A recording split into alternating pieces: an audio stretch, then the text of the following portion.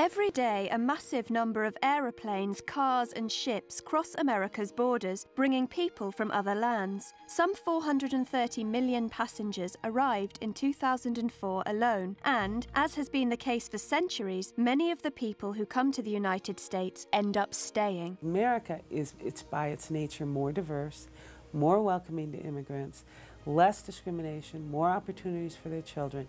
They choose to come here, and I think you know, not only have we by policy had more immigration, but by our very nature, we're more welcoming to people.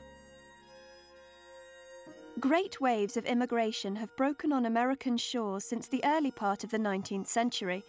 Fleeing economic and political hardships, many millions left their homelands in Europe and Asia in search of a better life. Europeans, including Irish, Germans, Italians, and others, settled in the eastern half of the United States. Immigrants from Asia and from Mexico tended to settle in the west and southwest.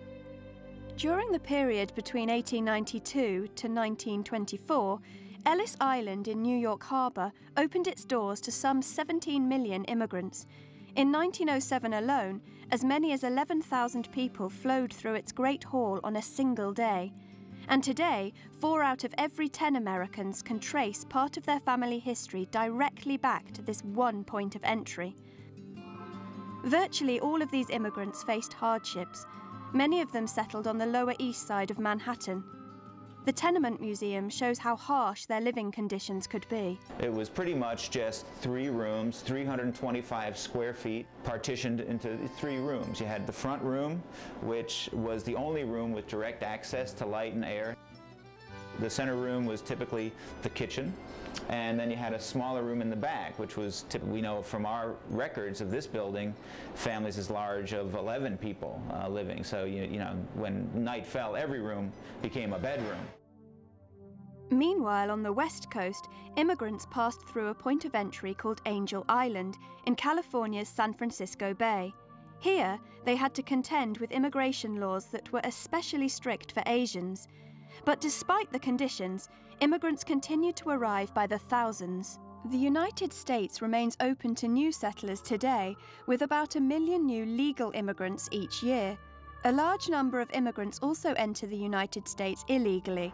This situation presents a challenge to the nation, and especially for states on the US Mexico border. Despite these challenges, America's long history of immigration has clearly strengthened the nation. Foreign born citizens have brought with them education, technical skills, a great desire to work and succeed, and personal connections to other countries. One reason the United States is such a dominant power in the world economy is that it has an ever growing force of immigrant labourers and professionals. We're in much better position because we have maintained our immigration flows. More than 200 years of immigration to the United States has shown that even immigrants who keep their language, their way of dress, and their own customs often share very similar values to the people already living here, values that will eventually help make them successful members of American society. Immigrants who come here, they have chosen, they have made an incredible leap to leave, leave everything they know everything that gives them self-identity and self-respect to come here. And they have bought into, they, you know, believe in American independence, freedom, and democracy.